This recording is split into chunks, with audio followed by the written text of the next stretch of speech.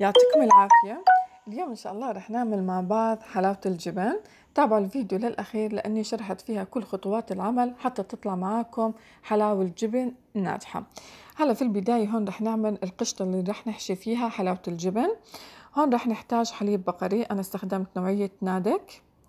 تقريبا هون رح نحتاج لترين من الحليب السائل. طبعا صباي أنا ما بفضل أبدا إنك تستخدمي حليب البودرة. نكهته أبدا مو طيبة.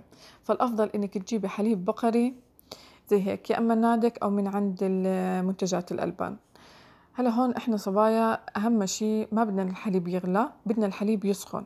يعني يبلش البخار يطلع منه حتى نحط عليه الليمون. طبعا هون ممكن تحطي ليمون ممكن تحطي خل أبيض. لاحظوا كيف صبايا على طول آه، بلشت تطلع القشطة على الوجه. تقريبا هون. كل لتر حليب رح نو... آه، رح ياخذ معنا معلقتين كبار ليمون. طبعا اللترين أخذوا مني أربع ملاعق ليمون تقريبا نص كاسة. لما يبلش هيك شوي يفور بنوطي الغاز وبنضلنا كل شوي نقلب فيه حتى تصير مية المية زي مية المصل. هيك بده يكون لونها. بهيك عندنا القشطة صارت جاهزة وهلا بنصفيها بمصفاية ناعمة. تمام؟ تقريبا صبايا هاي نفس طريقة هي نفس طريقة إنه إذا بدك تعملي جبنة ومش متوفر عندك يعني بالأخص للناس المغتربين ممكن تنفع معك كثير.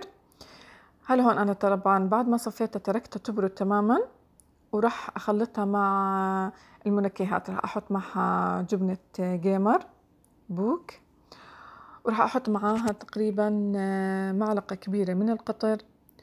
ومعلقة صغيرة من آه، ماء الزهر.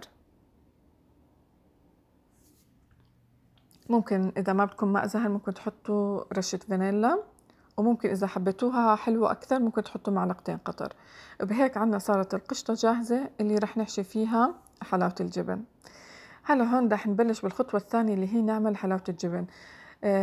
صبايا إشي كثير مهم إنك أول إشي تعملي القشطة وتحضريها بعدينك بتعملي آه، حلاوة السميد. طبعا بهاي الكاس رح نحتاج آه، كاستين مي تمام؟ ممكن ونص كاسة سكر.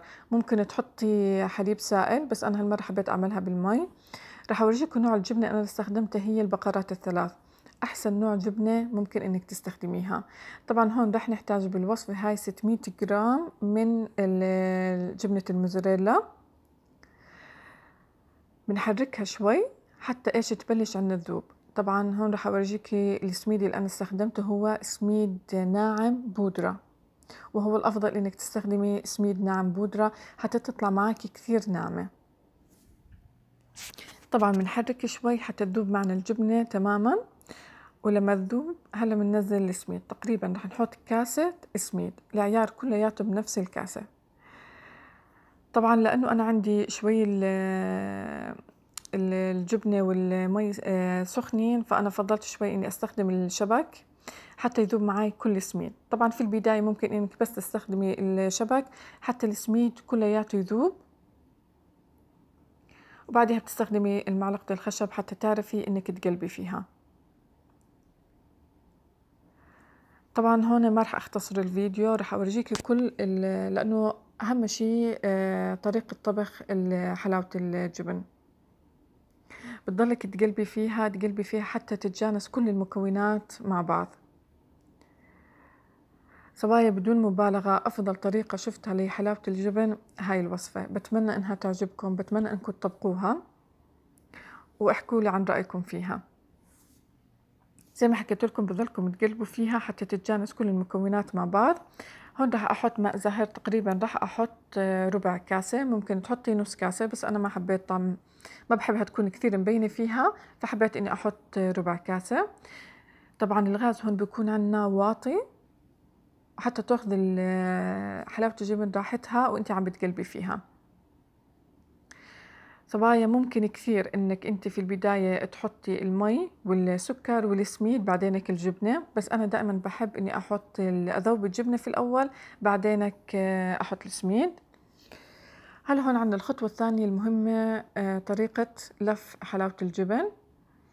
راح نحط النايلون ونحط عليه القطر. رح ندهنه في القطر ونأخذ قطعة من العجين. شغلة مهمة الأفضل إنك تشتغلي فيها سخنة. يعني أنا هون شوي بردت معي لأني كنت عم بحضر للتصوير.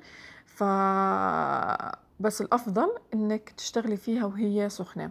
إذا لزقت معك شوي على إيديكي ممكن تحطي تمسحي إيديكي بشوية قطر وبمشي الحال.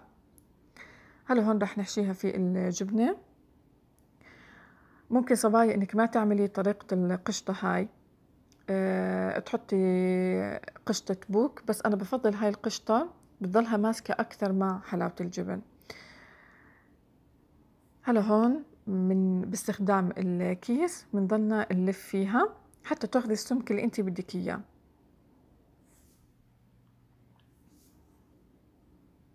طبعا الزيادة أنا رح أشيله. ممكن صبايا تعمليها قطعة كبيرة وتحشيها بس أنا بحب أعملها هيك رولات صغيرة وبعدها أقطعها لأنه ممكن ما أحتاج الكمية كلها مرة واحدة. طبعا الكمية اللي بتطلع كثير منيحة يعني آه يعني ما بتحتاجي إنك تعملي دبل العيار. هلا هون صبايا بعد ما تركتها تقريبا بس عشر دقائق وراح أبلش إني أقطع فيها.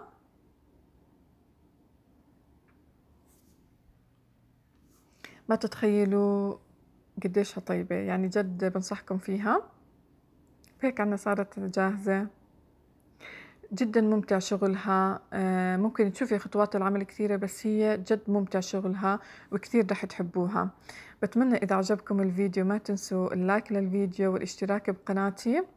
وشكرا على دعمي فيها ودعمي في الفيديوهات تبعت القناة. شكرا كثير لكم ويعطيكم ألف عافية.